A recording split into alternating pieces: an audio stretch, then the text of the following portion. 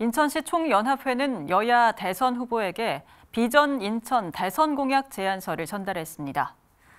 인천 총연은 지난 9일 더불어민주당 인천시당에 공약서를 전달한 데 이어 10일에는 국민의힘 인천시당에서 전달식을 진행했습니다. 제안서에는 인천 스마트 해저 도시 건설과 수도권 매립지 사용 종료가 포함됐습니다. 또 GTX-D Y자 노선 반영과 경인 고속도로 지하화 등 총 21개 공약이 담겼습니다. 이날 전달식에는 백진기 인천총연 공동대표와 안수연 청라국제도시 카페 대표 등이 참여했습니다.